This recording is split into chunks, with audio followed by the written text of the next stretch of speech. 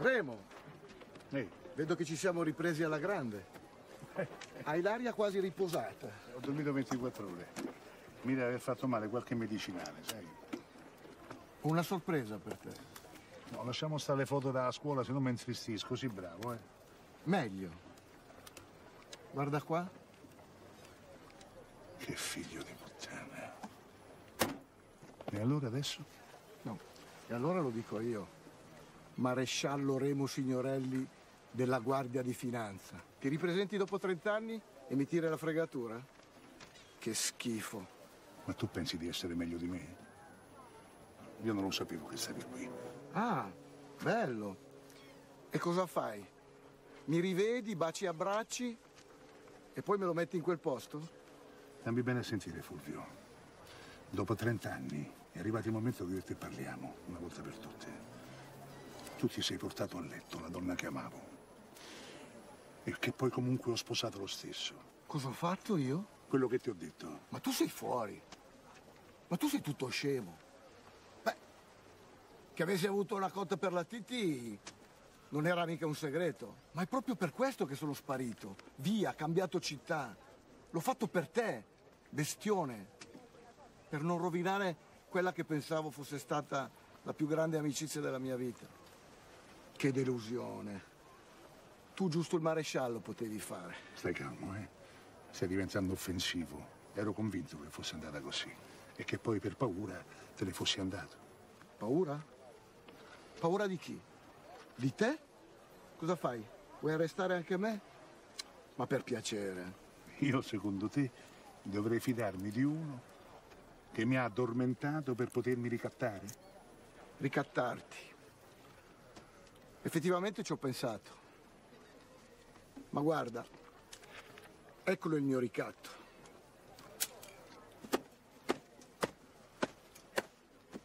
E ce n'è una coppia sola.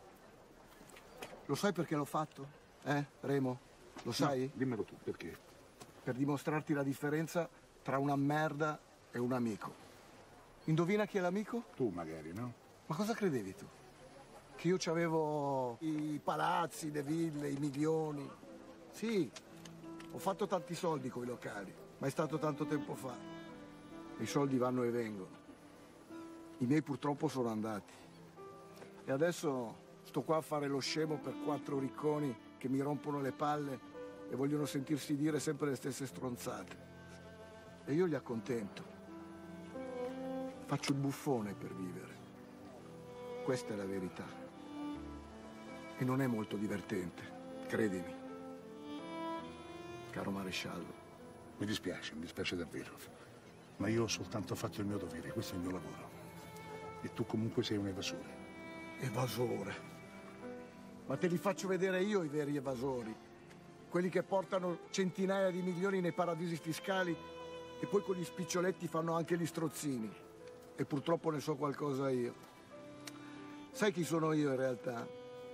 Sono uno che cerca di tenere in piedi una baracca piena di debiti. Sì, di debiti. Perché uno come me, quando è in difficoltà, non l'aiuta nessuno. E allora evado le tasse, faccio un po' di nero al locale. E certo, se no secondo te come faccio a tirare avanti? Noi siamo qui per questo, per riportare la legalità. La legalità. Poveri illusi. Non lo incastrerete mai, Grilli. Mai. Quello non tiene niente, né ricevute, fatture, un computer, niente. Sta tutto nella testa di un capoccione coi capelli dritti, mezzo scemo ma con un cervellone e ricorda tutto. Eh, conti correnti, spostamenti bancari. Non troverete mai nessuna prova. No, perché qualche cosa ci deve essere. E la troveremo. Denuncerai anche me, vero? Ti ho già denunciato, Fulvio. Beh, già. Beh, comunque vada, io sono con la coscienza a posto. Sono stato e sarò sempre un amico. E tu? Ti saluto, maresciallo. Buona fortuna.